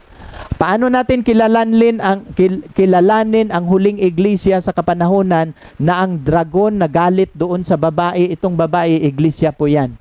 Pero ano bang karakteristik sa babae na kung saan nagagalit ang si Satanas? Which keep the commandments of God and have the testimony of Jesus Christ. Dalawa lang ang pagkakinlanlan sa tunay na iglesia. Ha? tumutupad sa utos ng Diyos. Tatanungin ko kayo, anong simbahan ngayon na nagtuturo sa Ten Commandments at nangingilin ng Sabat? 70 Adventist. At ang pangalawan niyang kalagayan, have the testimony of Jesus Christ. Ngayon ating pag-aralan itong testimony of Jesus Christ. Kasi yun yung pangalawang pagkakilanlan. Paano natin intindihin yung testimony ni Jesus Christ? Una niyang kalagayan, tumutupad po siya sa utos ng Diyos. Higit sa lahat, itinuturo niya ang araw ng Sabat. No, sabi niya dito sa 10, And I feel at His feet to worship Him. Nung nakita ni Juan ang anghel, sinamba niya, and he said to me, See thou, thou do it not. I am thy fellow servant and of thy brethren that have the testimony of Jesus. Sabi ng anghel, ingatan mong wag mong gagawin yan, nasisamba ka sa anghel. No? Ang sabi niya dito, katulad mo ako, ako ay lingkod lang din katulad ng mga kasamahan mo. No? Mapapan na na of thy brethren that have the testimony of Jesus. Worship God for the testimony of Jesus is the spirit of prophecy. Ano po itong ano? Ito ano po itong testimony of Jesus? Kasi ang ang iglesia ng Diyos tumutupad sila sa utos ng Diyos. Ikalawa, have the testimony of Jesus. At sa verse 19:10, for the testimony of Jesus is the spirit of prophecy. No? Ano yung testimony ni Jesus Christ? Mayroon siyang kaloob ng panghuhula. Kaya nga ang 70 Adventist ngayon, alam na namin ang mangyayari sa hinaharap. Alam na namin na ang Amerika magdeklara ng sandilo. Alam na namin yung gera ng Armageddon 1 war pagkatapos ay deliverance. At doon sa deliverance, sasabihin ni Jesus, sasabihin ng God the Father, kailan darating si Jesus Christ. Kaya mapapansin ninyo, bakit yan nalalaman ng iglesyang ito? Dahil for the testimony of Jesus Christ is the spirit of prophecy. Mayroon silang kakayahan, ang 70 Adventists, mayroong kakayahang magpapaliwanag ng hula sa Biblia. At ito yung pag, pagiging unique ng 70 Adventists. Unique Napapansin ninyo, mayroon kaming doktrina sa santuario.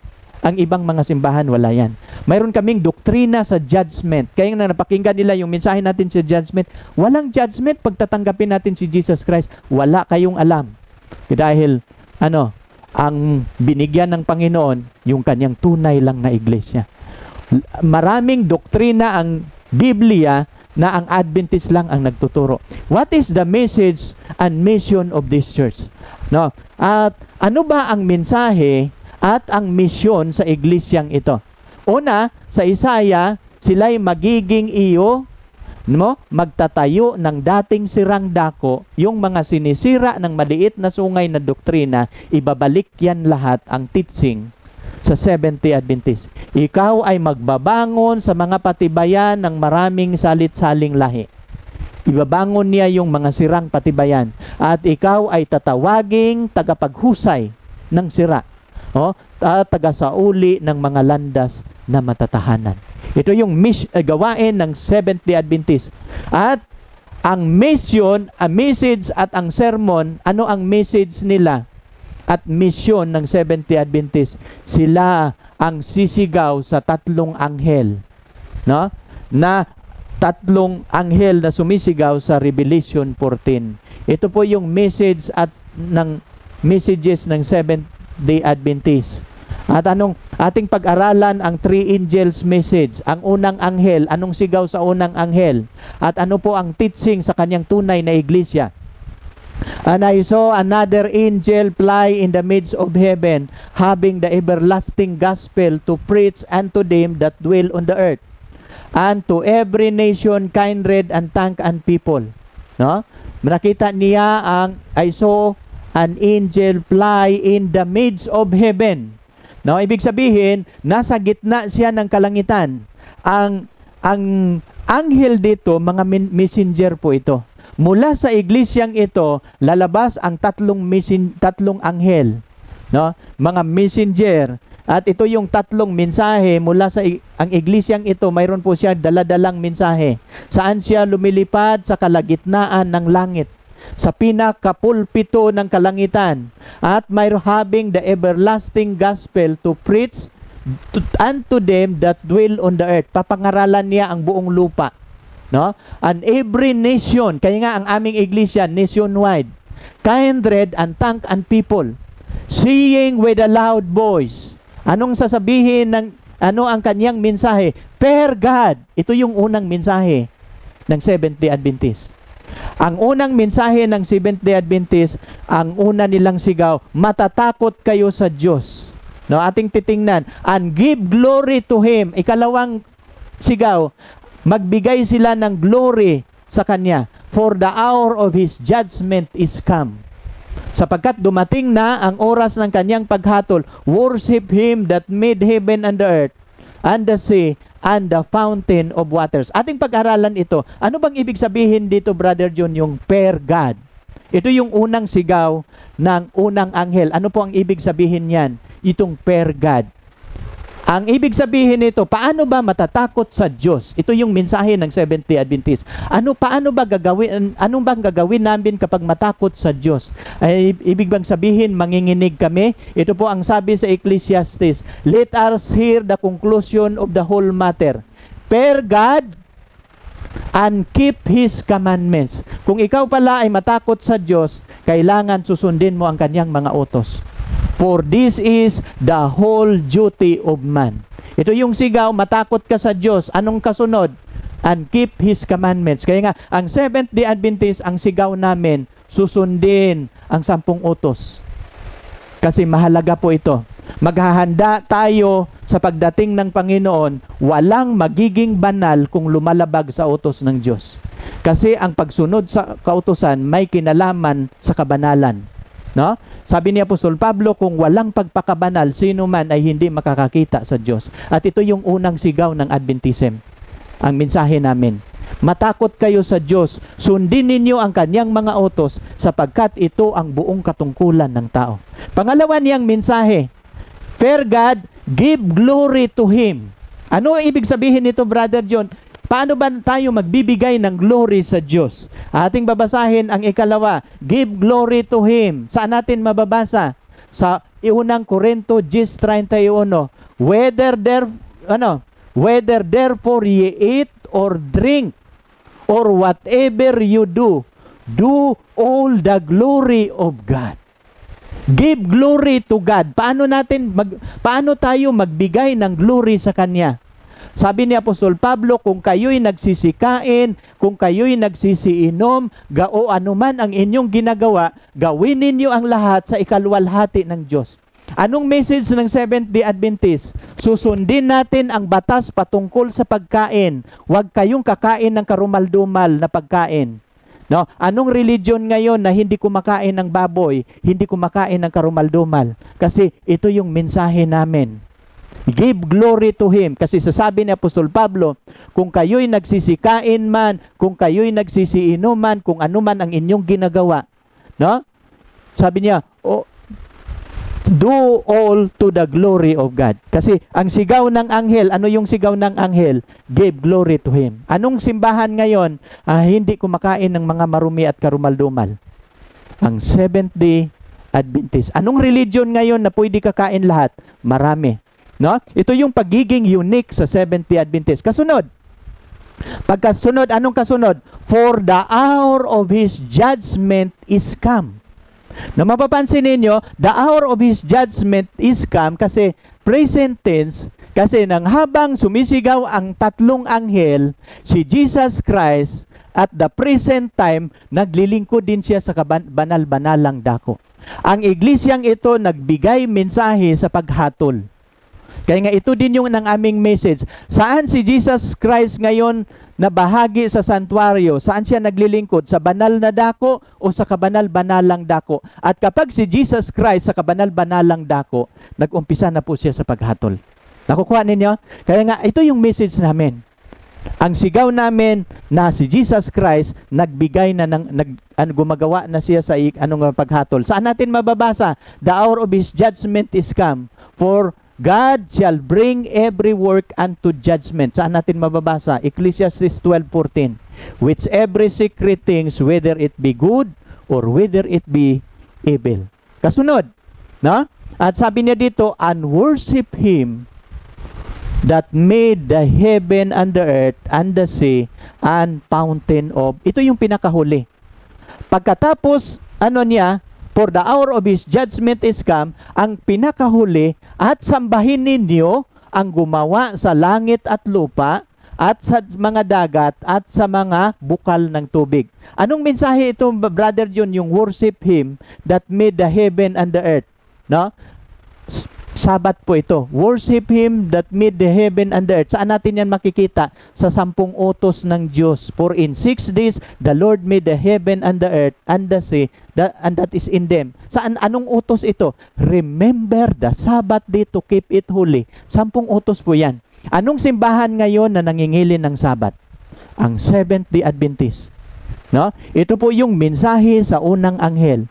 For, sabi niya, remember the Sabbath day to keep it holy. Six days thou shalt labor and do all thy works, but the seventh day is the Sabbath of the Lord thy God. In, ano? In it thou shalt not do any work, thou nor thy son, nor thy, ano, daughters, nor thy maidservant, nor thy maidservant, nor thy cattle, or nor, nor thy stranger that is within thy gates. For in six days the Lord made the heaven and the earth and the sea, all that in them, no? And rested the seventh day. Therefore the Lord blessed the Sabbath, the seventh, the Sabbath day, and hallowed it. Ano yung mensahe niya na no? Worship Him that made the heaven and earth. Ang tinutukoy ditong ipapasunod ng anghel o mensahe ng anghel ay ang patungkol sa batas ng sabat. Kasi nung naghahari ang maliit na sungay, pinalitan niya ang sabat, ginagawang linggo. Piniki niya ang kautusan ng Diyos. Kaya nga, ang, ang Seventh-day Adventist bumangon para ibabalik ang aral ng Panginoon na ang tamang pagsamba sa Diyos, hindi linggo, kundi sabat. No? Ano ang kasunod, Brother John? Sabi niya dito, bin up the testimony, seal the law among my disciple. Kasi itong batas sa sabat ay tatak po ito ng Panginoon. Ito po yung kautusan na tatak ng Diyos. Ang tatak ng hayop, linggo. Ang tatak ng Diyos, sabat. Saan natin mababasa? Moreover also, I give my Sabbath to be a sign between me and them that they might know that I am the Lord that sanctify them. Itong batas na ibibigay, magiging tanda po ito sa bayan, sa pagitan ng Diyos at sa kanyang bayan. Sabi niya dito, Anhalo may sabat, and this shall be a sign between me and you, that you may know that I am the Lord your God. Kapag mangingilin ka ng sabat, bayan ka ng Diyos. No? Mapapansin ninyo, ang second angel, ano itong second angel? Sabi niya dito, Babylon, Babylon is fallen. At yun yung pag-aralan natin bukas. Pag-aralan natin bukas ang Trinity ni Satanas. Paano siya nagkakaroon ng counterfeit Trinity? Kung mayroong Trinity ang kadyusan, God the Father, God the Son, at sa Holy Spirit, bukas ating pag-aralan ang counterfeit Trinity. At dito natin maintindihan ang mensahe sa ikalawang anghel. Babylon is fallen. No? Kasi pag-aralan natin, paano ba mapulin ang Babylon? No? At sabi niya dito sa 8, And there followed another angel saying, Babylon is fallen, is fallen. The great city because she made all nation drink of the wine. Pag-aralan din natin itong wine no? of the wrath of her fornication. At ang ikatatlong anghel, ano yung ikatatlong anghel? uh, if any man worship the beast and his image, receive his mark in his forehead or in his hand. No, sabi niya dito, the third angels followed them saying with a loud voice, if any man, if any man worship the beast and his image and receive his mark in his forehead or in his hand, no, the same shall drink of the wine of the wrath of God in which is poured out without mixture unto the cup of her indignation. And he shall be tormented with fire no of brimstone of the in the presence of the holy angels and in the presence of the lamb. And the smoke of their torment ascended up forever and ever and they have no rest day and night who worship the beast and his image and whosoever receive the mark of his name. No, mapapansin ninyo, ganun po ang ano. Ano ang iglesia, Brother John? Dito tayo magtatapos sa ating pag-aaral. Bibilisan natin, no? At kunti na lang ang ating oras. Mag-umpisa na po, uh, mag-ano na po tayo, matatapos na tayo. Ano ang iglesia? Ang iglesia, ito po'y tinatawag na ano, mga makasalanan itong mga tao, tinatawagan ng Diyos na mga banal. Saan po natin mababasa? Unto the church in which at Corinth, unto them that are sanctified in Christ Jesus, called to be saint. Mga makasalanan ito na tinatawagan ng mga banal. No? Ito yan po ang kahulugan ng iglesia with all that every place upon the name of Christ. No? Jesus Christ Lord both theirs and ours. To all that be in Rome, beloved of God, called to be sent. No, sa Roma 1:7. Ang iglesia, ang kahulugan ng iglesia, sila yung mga makasalanan na ginawang ano, pinatawad ng Panginoon.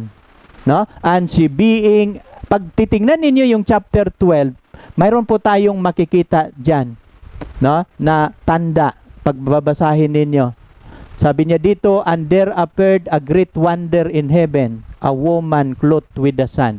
Ano po ang larawang ito? Isang babae na nagdamit siya ng araw at ang buwan nasa ilalim ng kanyang mga paa at ano pa? and upon her head a crown of 12 star. At alam ninyo, ito yung iglesia na sasalubong sa Panginoon. No? Nagdamit siya ng araw, nakaapak sa buwan, at mayroon siyang crown of 12 star. Atin itong pag-aralan sapagkat ito yung pure church. Sa Revelation, dalawa po ang iglesia dyan. Isang tunay na iglesia at isang opposite na iglesia. Itong iglesyang ito, anak niya lalalak, nanganak siya ng batang lalaki, dinala ang kanyang anak sa langit. Ngunit ang huwad na iglesia, isang patutot na iglesia, ang anak din niya mga patutot. No? Kaya mapapansin din, and she being with child, cried, traveling in birth, and pain to be delivered. And there appeared another wonder in heaven. Behold, a great red dragon having seven head and ten horn and seven crown upon his head. Itong babae na nagdamit araw, nag-apak sa buwan, mayroong kurunang bituin, nagbubuntis siya at manganganak. At habang nagde-deliver siya upang manganak at itong namang ano, an, mayroong isang pangitain na nakita sa langit isang malaking dragon na mapula. Mayroon siyang pitong ulo at sampung sungay at mayroong korona sa kanyang ulo, no? Inaabangan niya na ang babae manganak. At kapag manganak ang babae, kakainin niya. No? Mapapansin din dito. And he brought forth to a mind child and who was rolled the nation with rod and iron, and her child was cut up unto God and unto his throne. And the woman fled into the wilderness. No? Nang nanganak yung child, ay gusto niyang kainin pero hindi niya kinakain. Tumakas ang babae doon sa wilderness. Ano ang sinisimboluhan sa kanyang kasuotang araw? Isa-isahin natin ito, itong babae. No? For the Lord God is a sun. Until the Lord will give grace and glory. Ito po yung, ang ano pa, alam ninyo, yung kasuotan niyang araw, ang Diyos ang nagbibigay sa kanya ng grace and glory. Dati siyang makasalanan pero ngayon nagsusuot na siya ng liwanag ng kalangitan. No? Pinabsakdal at pinabalal siya hindi sa kanyang sarili kundi sa ano, kaloob ng Panginoon, kanakaligtasan. Kaya nga ang si Adan nung hindi pa sila nagkakasala, ang kanilang kasuotan, liwanag ng Diyos, ang iglesia din na babalikan ng Panginoon, um, magsusuot din ng kanyang kaliwanagan. Yung damit niyang araw, no? For the Lord is a sun and shield, and the Lord will give grace and glory. Ito yung magiging kasuotan ng kanyang iglesia. No? Kaya nga, mababasa natin sa Psalms, ayun yun yung simbolo sa araw niyang kasuotan. Dito tayo sa kasunod na tanong. What does the woman symbolize in the Bible? Ano ba ang simbolo sa babae? I have likened the daughter of Zion to a comely and delicate woman. Kaya nga, yung woman sa Revelation 12, tunay po yung iglesia. No? Na nag ginagamit niya na magbibigay ng mensahe. For I am a jealous no? over you with godly jealousy. Sabi sa 2 Corinthians 11.2 For I have spoused you to one husband, that I may present you as a chaste virgin to Christ. Ang iglesia, inihanda ni Apostol Pablo. No? na magiging asawa niya na isang ano to present the just virgin ano to Christ. Si Kristo yung groom, ang iglesia naman ang bride.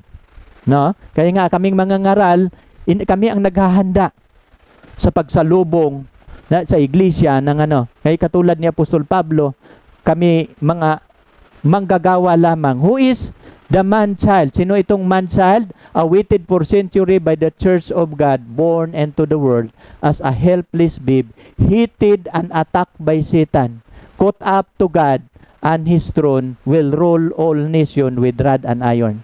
No? Kaya makikita natin, ito yung iglesia na tunay na ano, tumutupad sa utos ng Diyos. At mayroong patutuon ni Jesus. Nakaapak siya sa buwan. No? At ito yung li- nagsusuot siya sa liwanag ng kalangitan. Mayroong ano, what about the, the, the moon under her feet? Ano bang kahulugan ninyo dito, Brother John? The moon symbolized the written word of God. Ano yon? Nakaapak siya sa buwan. Biblia po yon, salita po yon ng Diyos. Anong sulat sa 119, 110? Ang salita mo ay ilawan ng aking mga paa. Kaya na, ang iglesia, nakaapak siya sa buwan. No? Kaya mapapansin niyo, nakaapak ang iglesia. Kasi kung ano ang nakasulat sa Biblia, yun yun yung kanyang advocacy. Yun yung kanyang pamumuhay. No? What about the, the moon? Kaya nga nakikita niya, the written word of God, which reflect the light from Christ, as the moon does from the sun. Kasi ang moon walang sariling liwanag. Pero ang tunay na liwanag galing sa Diyos, no? What does the crown of 12 star symbolize?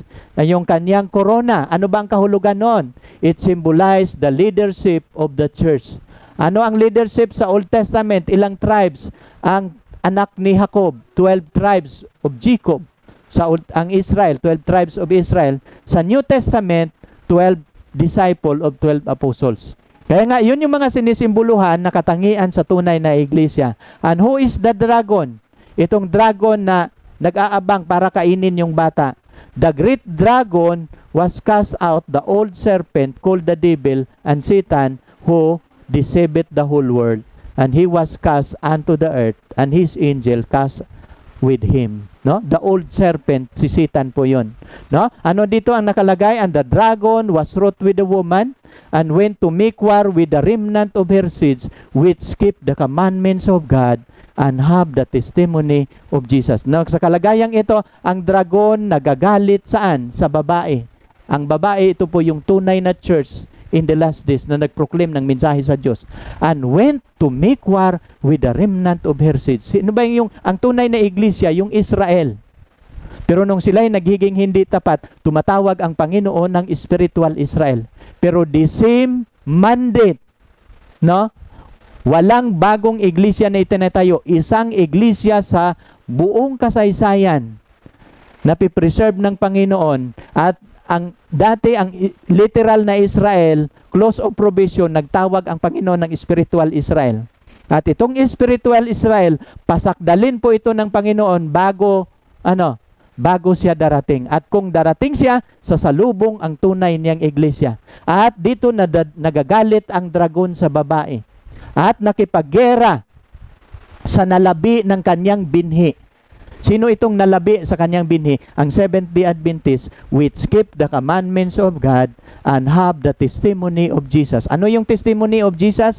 The spirit of prophecy. Kaya nga, ang sulat ni Ellen G. White na hawak namin ngayon, ito yung ano, spirit of prophecy na aming ginagamit, paano namin nauunawa ang mga hula sa Biblia. No? Kaya nga, ito yon At uh, sabi niya dito, no, sa ano itong spirit of prophecy, and I, sabi niya dito, worship God for the testimony of Jesus is the spirit of prophecy. Dito natatapos ang ating pag-aaral ngayong gabi. At sana mayroon kayong matutunan. Gabi-gabi ang pangako ko sa inyo. Bawat topic na ating tatalakayin, ititiyak ko sa inyo, mayroon kayong matutunan. At bukas ating tatalakayin ang Trinity ni Satanas. No? Kasi dalawang topic ngayon ang uh, the last day church of Christ at saka three angels message sinama ko na dalawang topic ang ating tinatalakay ngayon. Bukas hindi na natin itatopic ang three angels, ang ating topic bukas ang counterfeit trinity ni Satanas paano siya sasambahin sa buong lupa. At sinasamba si Satanas sa buong lupa dahil sa kanyang Trinity. At ipanalangin ko kayo sa ating pagtatapos. Sana mayroon kayong natutunan. Kung inyong natutunan ito, mahabag kayo sa mga kaibigan at kasama ninyo. Ibahagi ninyo ang pabalitang ito kasi ito'y para sa inyo, ito'y panawagan ng Diyos. Paano kayo sasalubong sa Panginoon? Ito ang aming panalangin at tayo manalangin ba sa ating pagtatapos. Dakila naming Diyos, maraming salamat Ama na kami nag pinagkatiwalaan mo na aming iproclaim ang pabalitang ito. At salamat sa katotohanan na kayo nagtayo at inyong itinatag ang huling iglesia, ang Laodicean Church, na ah, ano, pinili ninyo upang mag-proclaim ng pabalita sa judgment na inyong ginagawa sa kasalukuyan sa kabanal-banalang dako. Amang banal, mahabag kayo sa mga tao kung paano kayo nagsisikap sa inyong kapanahonan, kayo nangaral, inabot ninyo ang marami. Ganon din po ang aming layunin at mithiin sa buhay, sa aming paglilingkod. Abutin din namin ang marami sa pamamagitan ng teknolohiya ngayon. Mahabag kayo sa mga, sa mga taong naghahanap ng kaligtasan, ililigtas ninyo sila. At sa pamamagitan ng pangangaral naming ito, makakatulong nawa ito sa kanilang paghahanap sa tunay na iglesia. Salamat Amang Banal sa inyong patuloy na paggamit sa amin at patuloy ninyo pa kaming gagamitin sa susunod na mga buwan sa another series na aming tatalakayin kasama ang aming taga-subaybay. Salamat Amang Banal sa pagdinig mo sa aming dalangin. Salamat sa banal na Espiritu na naggamit sa amin sa gabing ito sa pangalan ng Panginoong Hesus. Amen.